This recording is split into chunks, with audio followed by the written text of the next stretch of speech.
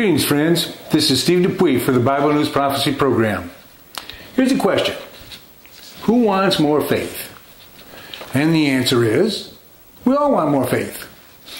Let's read about one man that wanted more faith in Mark chapter 9, verse 17.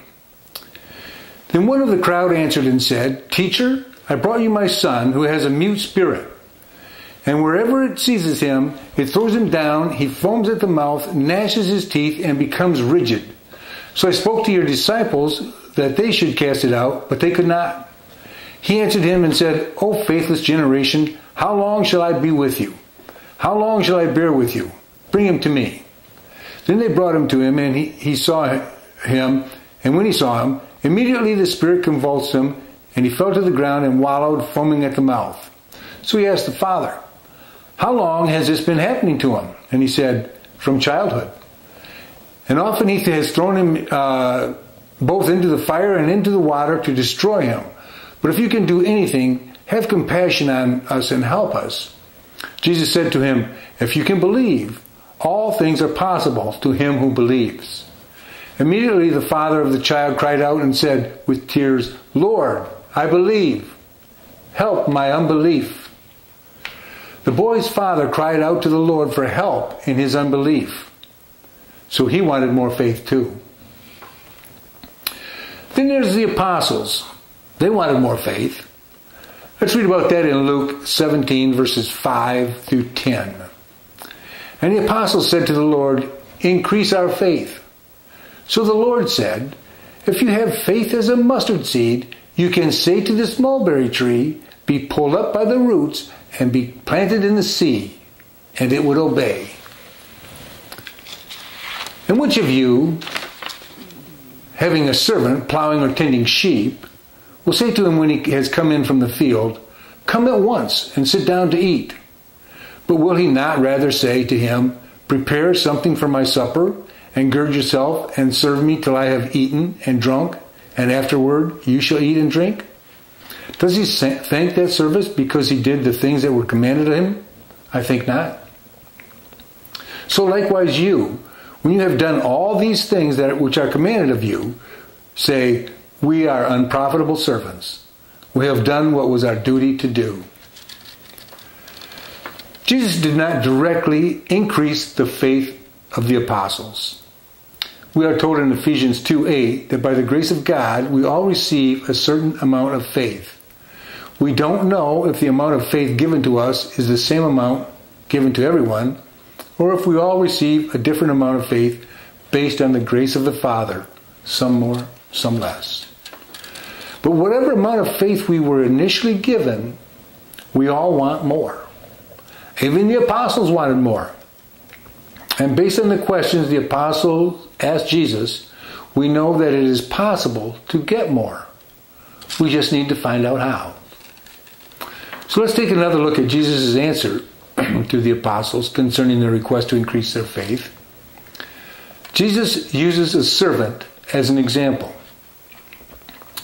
He tells the apostles that uh, the servant only does all that their master has commanded them to do is an unprofitable servant. Jesus didn't increase the apostles' faith directly, but he did give them a bit of a riddle that, when solved, would lead the apostles to the answer that increases their faith. Now, the apostles are the servants of the Father, and if all they do is commit is what is commanded of them, they too are unprofitable servants. What Jesus is telling them is that he is not going to increase their faith. Increased faith is the reward of those that do more than what is commanded of them. That leaves us with two questions. Uh, we need to answer these questions before we can learn how the apostles, and therefore we, can increase our faith. First, we need to know what was commanded of the apostles, and therefore what is commanded of us. Since we need to know how and what we can do is uh, that is more than what is commanded of us. So, what we need, I'll start that over. So, what is it that is commanded of us? We can start with the very same commandments Jesus gave Moses which are the Ten Commandments. Certainly, the law that was commanded to Moses is also commanded to us. Let's read Jeremiah 31, verse 31. Behold, the days are coming, says the Lord, when I will make a new covenant with the house of Israel and with the house of Judah. Not according to the covenant that I made with their fathers in the day that I took them by the hand to lead them out of the land of Egypt, my covenant which they broke, though I was a husband to them, says the Lord. But this is the covenant I will make with the house of Israel after those days, says the Lord. I will put my law in their minds and write it on their hearts, and I will be their God, and they shall be my people. We see at the end of verse 33 that whatever God, uh, whenever God makes the new commandment with us, God will put his laws in our hearts and in our minds. These laws are the same Ten Commandments that God gave Moses only instead of stone, they're written on our hearts. Therefore, to do all that we are commanded is to obey the Ten Commandments. Now let's read some familiar verses that stress the need for doing all that we are commanded and its relationship to faith. James 2, verses 14 through 26. What does it profit, my brethren, if someone says he has faith but does not have works? Can faith save him? If a brother or sister is naked and destitute of daily food, and one of you says to them, Depart in peace, be warmed and filled, but you do not give them the things which are needed for the body, what does it profit? Thus also, faith by itself, if it does not have works, is dead. But someone will say, You have faith, and I have works. Show me your faith without your works, and I will show you my faith by my works. You believe that there is one God, you do well. Even the demons believe and tremble. What do you, uh, but what, but do you want to know, O foolish man, that faith without works is dead? Was not Abraham our father justified by works when he offered Isaac his son on the altar? Do you see that faith was working together with his works, and by works faith was made perfect? And the scripture was fulfilled, which says, Abraham believed God, and it was accounted to him for righteousness. And he was called the friend of God. But you see then that a man is justified by works, and not by faith only. Likewise, was not Rahab the harlot also justified by works when she received the messengers and sent them out another way? For as the body without spirit, uh, without the spirit is dead, so faith without works is dead also. By doing the works we are commanded to do, people will be able to see which faith we are of, which in this case would be the Christian faith. Once we are doing all that is commanded of us, what's our next step? What step do we take now that that will increase our faith? The answer is bear fruit. Let's take a look at some verses that identify good fruit that is in compliance with the Ten Commandments. This is Galatians 5, verses 22 through 23. But the fruit of the Spirit is love, joy, peace, long suffering, kindness, goodness, faithfulness, gentleness, self control. Against such there is no law. After we have done all that we are commanded, Jesus points us to the path that leads to increasing our faith. The fruit of the Spirit is love, joy, peace, goodness, self control. There's no law against bearing that type of fruit. So it's important for us too to also heed a warning that we have from Jesus for not bearing fruit. The following verses bring home the point of uh, only doing all that we are commanded and not going beyond that and bearing fruit. This is in Luke 13, verses 6 through 9. He also spoke this parable. A certain man had a fig tree planted in his vineyard and he came seeking fruit on it and found none. Then he said to the keeper of his vineyard, Look, for three years I have come seeking fruit on this fig tree and have found none. Cut it down, Why does it use up the ground? But he answered and said to him, Sir, let alone this year also, until I dig around and fertilize it. And if it bears fruit, well. But if not, after that you can cut it down. The man that had the fig tree is our Father in heaven.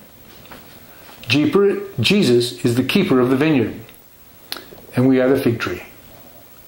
The Father called us and planted us in his garden. And after three years, uh, patient years of tending his garden, we still bore no fruit. And the Father told Jesus to cut us down because we were just taking up space. Jesus asked the Father for one more year, during which he would again fertilize us. And if we still bore no fruit after a year, then he would cut us down. So God the Father called us, and we answered the call. We have done all that has been commanded us, yet we are still not bearing fruit. What can we do in order to avoid being cut down? What's our next step? Get fertilized. So, how?